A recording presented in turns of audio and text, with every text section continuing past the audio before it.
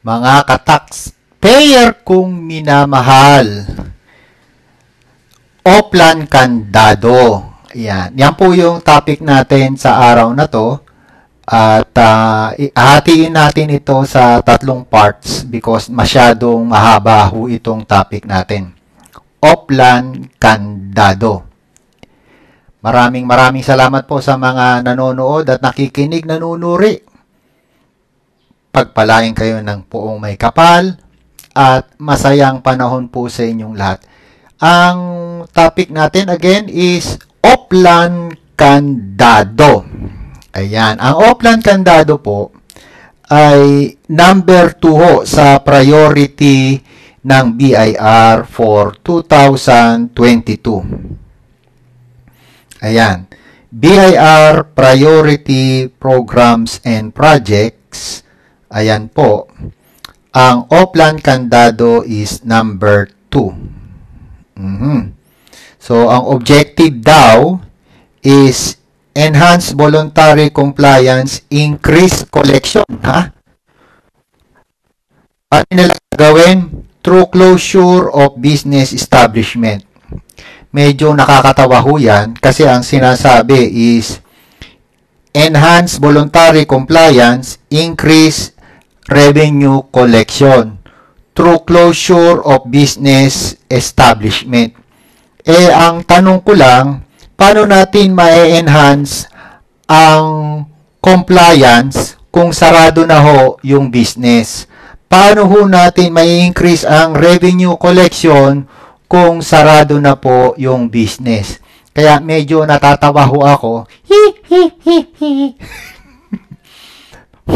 Ito sa mga proyekto ng BIR, eh nakakatawa.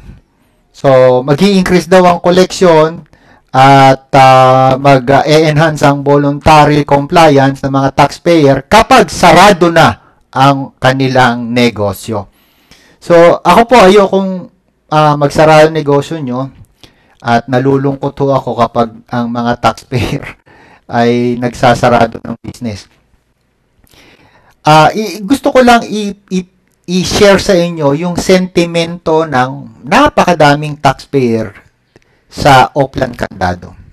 So gumawa ho ako ng isang isang picture na uh, alam naman ho ninyo yan. Yan po yung mga tinatawag nating terorista na nandiyan sa Mindanao. Matagal na picture na ho yan. Picture ho yan ng Abu Sayyaf at saka ho yung uh, foreigner na kanilang kinidnap. Halimbawa kayo yung foreigner na kinidnap ng isang terorista. Ang mararamdaman ho ninyo, definitely, terrorize kayo. Why? Because kinuha yung buhay ninyo nang wala kayong consent. Ayan. So definitely, pinatay na kayo. Dahil kung kinuha yung buhay ninyo, hindi kayo makapaghanap buhay. So, in reality, pinatay kayo. So, ano ho ang pagkakaiba niyan? Sabi nga, no? which terrorizes you most? Sa Oplan Kandado.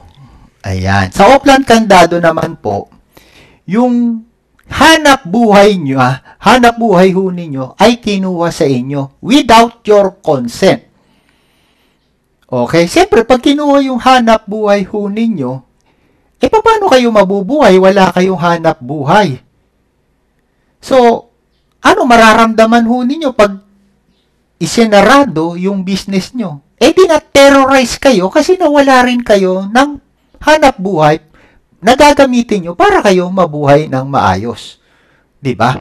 So, sinasabi ng marami nating mga kababayan, walang pinagkaiba yung mga terorista na kumuha ng buhay at yung mga tao na kumuha ng hanap buhay.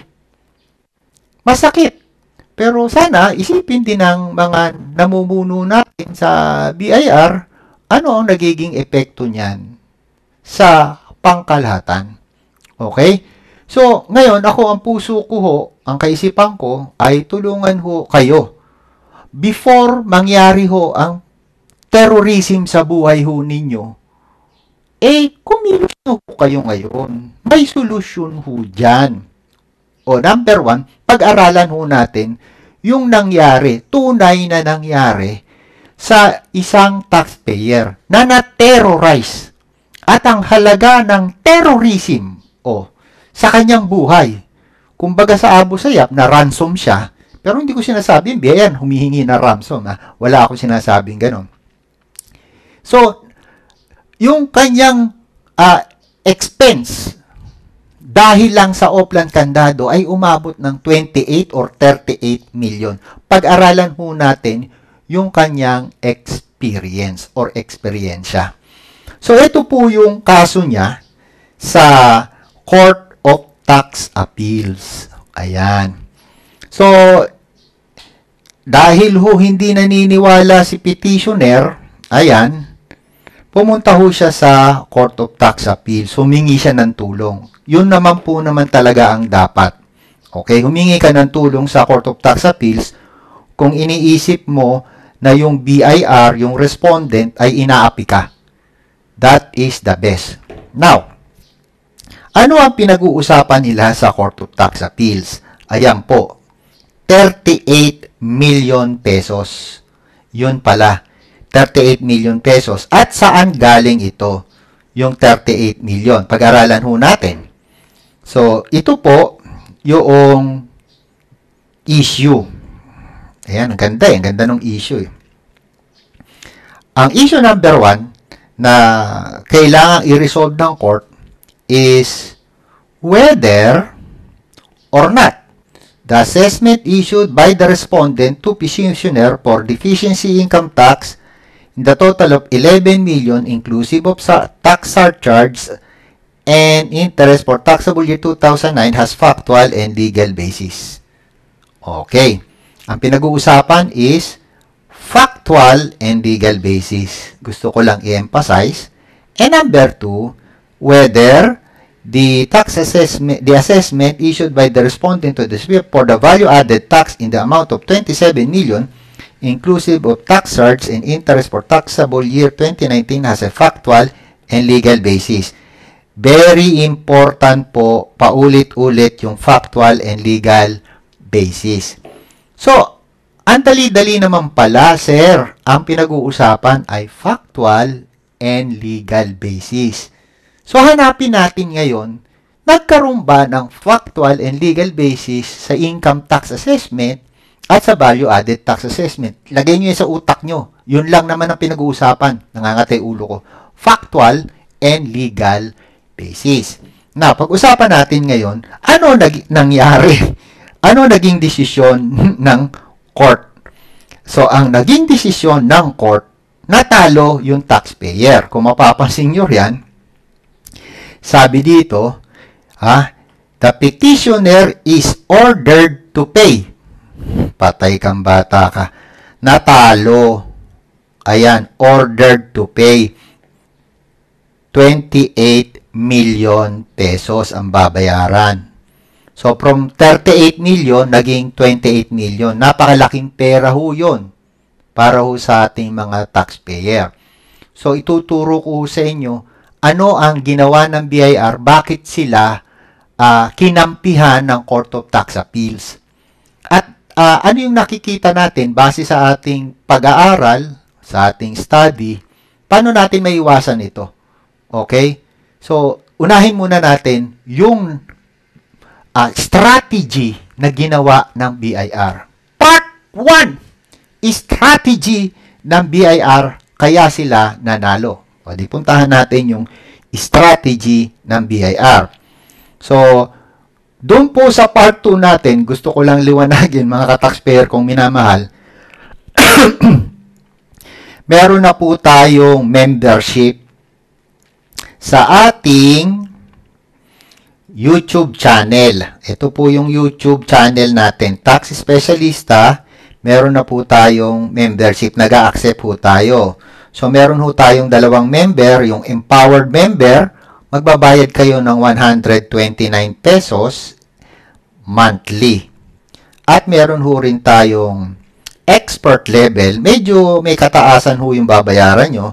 5,999 pero magagamit ho nyo yan sa inyong business. So, mas malaki ho yung magiging uh, return ninyo kung sasali ho kayo sa expert level.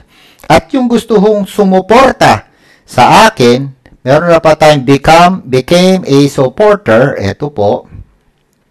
Nakikita nyo ho dyan. Ito. Saka taxpayer. Uh, Facebook. Okay. So, for details, pwede nyo ho akong tawagan. Nandiyan naman ho yung mga numbers ko. Pag-usapan ho natin yung saan papunta ang inyong career at negosyo. Balikan ho natin yung pinag-aaralan natin. So, ito po yung argumento. Pag sinabi hong petitioner dito, liliwanagin ko lang ho, yan po yung taxpayer. Okay? So, basahin natin kung ano yung sinasabi ng taxpayer. Petitioner insists that the respondent has no legal basis to hold it liable for additional taxes as all expenses incurred by it were fully substantiated and proved with supporting receipts. It also claims that it neither has undeclared sale nor unsupported creditable withheld contrary to respondent ruling and assessment of additional taxes. Further, the petitioner contends that the method used by the respondent in determining the alleged undeclared sale was unsupported by any written testimony or report by duly authorized personnel. Hence, it is speculative and the legal right of the petitioner to due process was clearly violated by the respondent ruling. Ang ginamit na strategy noong pong taxpayer ay yung right to due process. So doon nag-concentrate po yung kliyente, yung kliyente. Hindi ko po kliyente to ha. Taxpayer, right to due process. Tama ba yung paggamit niya? Tama ba? Ha? Yan yung, actually, ang gaganda ng mga Supreme Court decision natin. Ang may problem dito yung strategies, tax strategies. Dalawa tax, strategies eh. Isang lawyer at isang accountant. Dito ho, sasabihin ko na sa inyo, may mali yung lawyer at saka yung accountant. Tinira nila sa due process. Mali. Mali. Pagdating sa surveillance, huwag mong tirahin sa due process. Kasi kakampihan yan ng Supreme, ng Court of Tax Appeals. O ngayon, tuturo ko sa inyo later on. Pero pag-aralan muna natin. So, ang strategy is due process. Sabi naman nung respondent, pag sinabi nating respondent, ito po yung uh, magaling na mga taga-BIR. Ayan. So, basahin natin ngayon yung sinasabi ng BIR. Respondents, on the other hand, maintains that the tax estimate made by the tax examiner are presumed correct and made in good faith. She avers that the taxpayer has the duty of proving otherwise with strong and convincing evidence and that in the absence of proof of any irregularities in the performance of official duty, the court in, in, not interfere or disturb such findings. Antindi. Antindi. Ang panlaban ng BIR ngayon is ah, ginawa namin yung aming duty. Therefore, there is a presumption, pag ginawa namin yung duty namin, yung result na ginawa namin, o magkaiba yun ha, yung paggawa ng duty at yung result ah, sa paggawa ng duty ay magkaiba. Since ginawa namin yung aming duty, yung result ng aming duty ay tama. O, presumption, presumption. Ito ngayon nandik. Ito ngayon, nag-presume eh. Hindi, dapat ang tinira dito, yung, ayan o, ang dapat tinira dito, ito, yan, yan mismo dapat yung presumption. Ah, presumption. Ngayon, bakit pinanigan ng korte? Ito na yung ruling ng korte. Okay. Ayan daw. Babasahin natin. Talo na kagad eh. Talo na kagad eh. Talo na kayong taxpayer. So, ito, ito yung ginawa ng korte. Basahin natin. Ginamit ng korte. Sabi dito, assessments are prima facie presumed correct. O edi nagtama na ngayon. Oh, mamaya ako na di-discuss. Next, na-excite ako eh. Sabi na ngayon dito, assessment are prima facie presumed correct and made in good faith. The taxpayer has the duty of proving otherwise. In the absence of proof of any irregularities in the performance of official duty, an assessment will not be disturbed. Hence, all presumptions are in the favor of the correctness of the subject assessment issued by the respondent. Failure to present proof of error in the assessment will justify judicial affirmance, affirmation of the said assessment. Sinabi na ngayon dito, so mal, mali yung, yung, sabi ko kanina, di ba, mali yung approach ng tax strategies, yung lawyer at saka yung accountant. Because tinira nila sa due process. E pinanigan nga ng court. Kasi sabi ng court, tama yung due process. Ano ba yung due process? Yung official duty. Yung official duty. Okay. Now, ang hinihingi, ang linaw-linaw, ang linaw-linaw. Sabi dito is merong presumption. Ang ganda nito eh. O ito, prima facie correct, made in good faith. O, nagawa daw, may presumption, correct, may presumption, made in good faith. Sabi, in the absence of proof of irregularity, ano hahanapin mo? Proof of irregularity. Proof of irregularity. Maghanap ka ng irregular. Yun ang hinihingi. So, saan mo raw hahanapin yung irregular? Dito sa performance. So, drawing ko lang para maintindihan ng mga nakikinig sa atin. Ito yung, sabihin na natin, notice of the link deficiency. Bago makarating yan, ito yung end. Lagyan natin ng ganun. Ibig sabihin, end. Okay? Yan ho yung end. Yan. So, yan yung result. Ito ho yung tinatawag ko na journey. So, hindi lang naman nag-perform ng official duty. Isan duties, hindi lang naman duty isa. Duties, madami. Series. Step 1, Step 2, Step 3. For example, check the mathematical computation. That is a duty. Uh, vouch the total sa books of account. That's another duty. So, ang duty ngayon ng revenue officer, sangkatutak. Ang sabi ng ating Supreme Court, maghanap ka ng preba na may irregularity. May irregularity. Yun lang yung hinihingi, napaka, napakadali. Nag, sasabihin ng iba, yabang mo naman.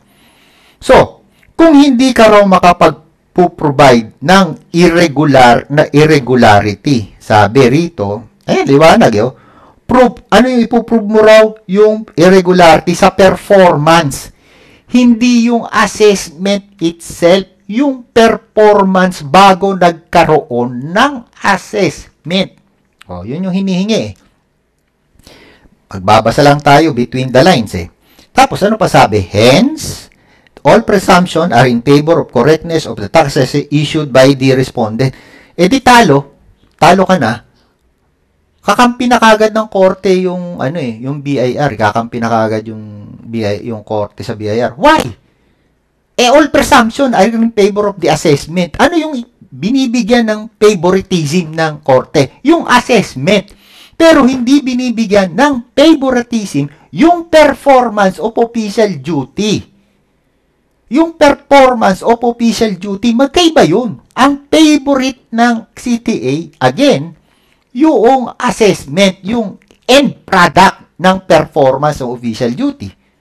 Kung manufacturing kayo ng candy, hindi naman kinakain yung manufacturing plant. Ang kinakain yung candy. Yun yung end result. Oh. Ang binibigyan ng favor, yung candy, hindi yung manufacturing plant. So, ang aatakihin mo, yung manufacturing plant, wag yung candy. O, naiintindihan nyo? Ganun ho. So, nagkaroon daw ng failure. Sino nagkaroon ng failure? Eh, yung taxpayer. Aliwaliwanag dito sa sinasabi, ayan o, failure to present proof of error. So, ano hanapin mo? Error. So, yung irregularity at error ay iisa. Yun. So, yun, yun, yun, yun yung, yun yung ipinanalo ng BIR. Ang galing eh. So, yung part 2 natin, pagpapatuloy natin, yung pag-aaral natin dito, yung part 2, malalaman po ninyo doon po sa empowered level at yung part 3, lalagay ko either ilalagay ko sa empowered level or ilalagay ko po sa expert level. Okay, huwag niyo kalimutan na to become my supporter or to be my members. Ayan po. So, with that, nagpapasalamat po ako sa lahat ng nag-attend at isa-shoutout ko lang kung sino-sino po yung nandito at nag-comment. Nandito si G. Santander, si Diosan Lazaro, si, si June Ramos, o si Lito Ramos, si Anthony Peña, at si Marisa Jonas. So, with that mga ka-taxpayer kong mahal, abangan po ninyo yung ating susunod na, yung part 2 ho natin. Ito po, pag-uusapan na ho natin yung, ayan, yung ruling ng korte. Explain ko ho sa inyo at paano ho natin ito mamamaximize pagdating ho sa paghawak ho ng kaso. Ayan. Okay? Part 2, please. At saka wag ho nyo kalimutan, uh, may mga tax cases ho akong i-discuss sa inyo. I-discuss ko yung buod, pero yung solution sa ibang level ko i-discuss. Thank you! Peace and happiness mga ka-taxpayer ko mahal. Be with you for life. See you later.